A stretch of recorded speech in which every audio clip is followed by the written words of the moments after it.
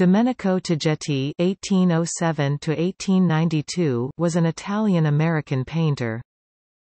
Born in Rocca di Papa, near Rome, the artist frequented the Roman circle of the Torlonia princes, providing frescoes in the ballroom of Villa Torlonia under the direction of his teacher, Francesco Coghetti.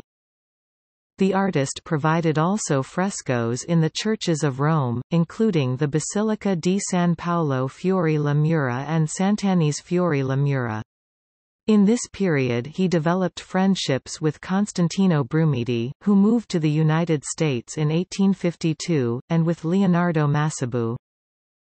In 1867 Tojetti moved with his family to Guatemala, then Mexico, and finally to San Francisco, California, where he produced paintings for churches, public and private buildings.